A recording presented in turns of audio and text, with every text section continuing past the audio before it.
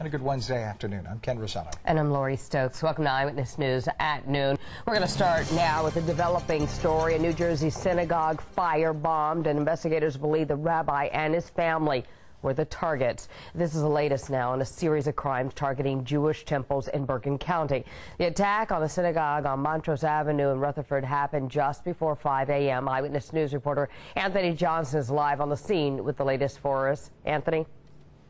Well, Lori, certainly very terrifying moments for the family, the Orthodox family living inside of the synagogue. They live at a second floor residence. The rabbi who put out the fire was seen out here this morning on the scene describing just how frightened he was when that firebomb came through the window this morning. And at this point in time, they're saying this appears to be more than just a bias crime. She said it was some type of material that came through the window um, and exploded. The target appears to be a rabbi, his wife, and five children sleeping in the residence portion of Temple Beth El. The incendiary device was tossed through a second floor master bedroom window, igniting a fire that was quickly extinguished. It was not an extensive fire, but it did go through the plate glass window and into the bedroom uh, and actually sprayed fire on the bedroom floor as well as in the bed itself. Rabbi Nassan Schumann suffered minor burns on his hands putting out the fire. No one else was hurt, but this launched a major investigation with detectives canvassing the area and walking on the roof of the building looking for evidence. Several other explosive devices, namely Molotov cocktails and aerosol cans, were discovered but did not ignite. You can't just look at this as an arson. This, this, you look at this now as an attempted murder. Newscopter 7 was over the crime scene right after sunrise as cops swarmed the area looking for clues. The 4:30 a.m. attack in this normally quiet Rutherford neighborhood has rattled the nerves of neighbors. Uh, I just find it outrageous that somebody would do something like this, especially when kids sleep on the second floor and so forth, because I'll tell you what could happen. There have been several bias incidents in Bergen County recently, including one in Paramus and also in nearby Hackensack. At this point, no one can say if this morning's firebombing is related but one man says this kind of irrational behavior is not surprising. It, it's not something really new. It's something that happens, and I guess you got to go on. Back here live at the scene, you can see investigators are still on the scene, and arson investigators are also out here. Still a rather large crime scene out here this morning. The Bergen County prosecutor is scheduled to have another news conference this afternoon at 2 o'clock to update us on this very troubling story.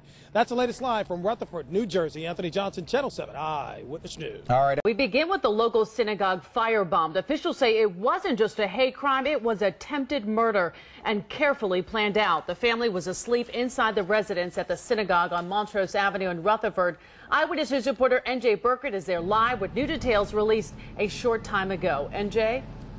Sade carefully planned and carried out by several arsonists. That is the disturbing theory at the heart of this case. But why this rabbi? Why this family? Why this congregation? Tonight, investigators here are at a loss. One of the firebombs was thrown clear through a bedroom window on the second floor and burst into flames. It was almost like a like a dragon's breath. Rabbi Nassan Schumann and his wife were nearly killed. Looks like a wall of fire that comes burning in. It's an explosion and it's an instant wall of fire. It came very close. It was very close. The rabbi burned his hands trying to smother the fire, while his wife awakened their five children and the rabbi's parents. All made it out safely, and the fire did little damage. But authorities are convinced tonight that someone was trying to send them a message. This is certainly a hate crime. This is certainly a bias crime. This is aggravated arson, but most importantly, we're now looking on this as an attempted homicide. It happened at 4:30 in the morning in Congregation Beth El, a rambling Victorian home where the rabbi lives and holds small weekly services.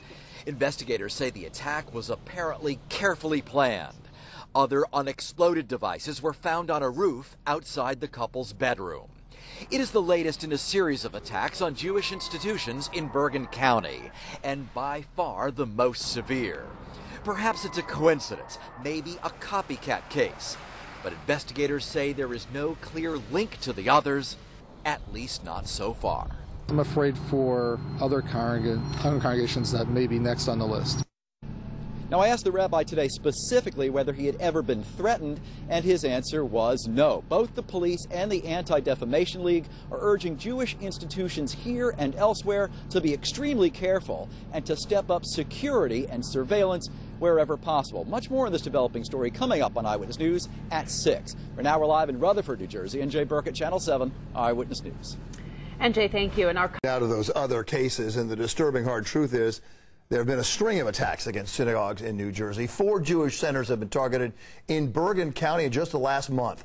And now community leaders trying to figure out how to deal with this violence. New Jersey reporter Tony Yates also in Rutherford with that part of our coverage. Tony? Yes, Bill, because there is one thing these four incidents have in common uh, the hate in the hearts of the culprits.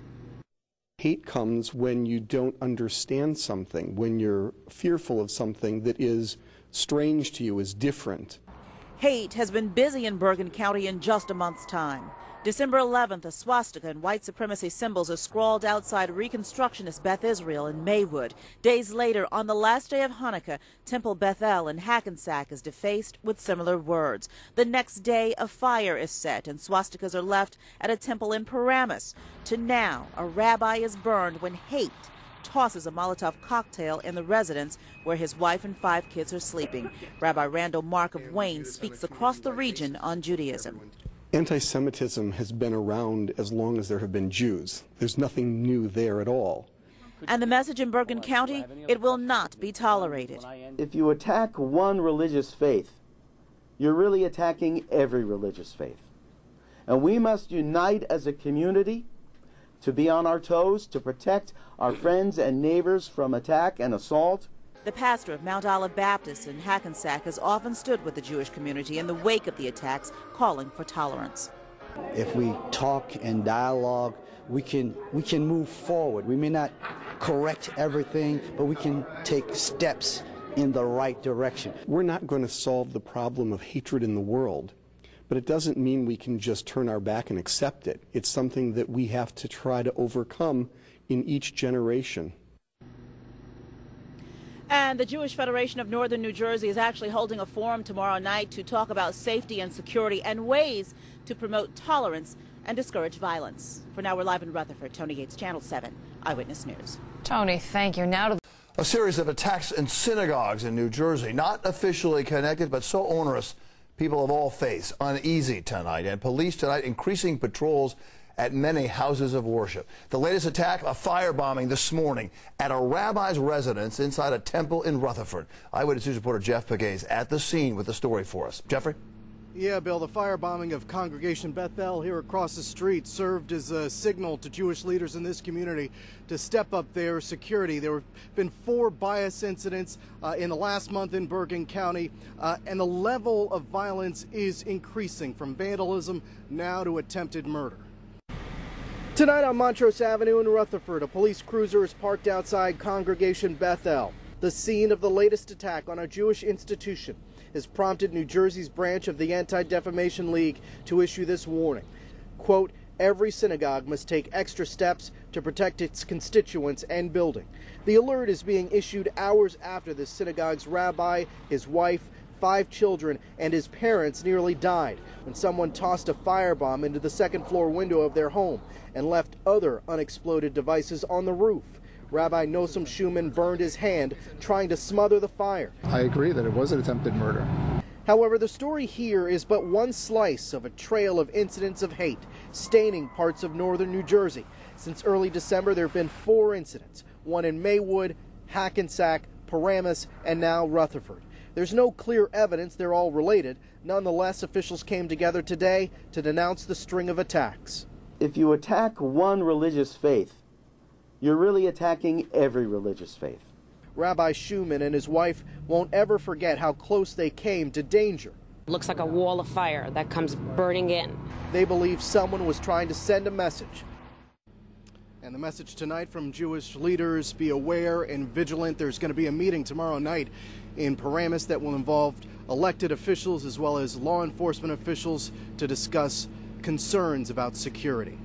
We're live in Rutherford. Jeff Pegues, Channel 7 Eyewitness News.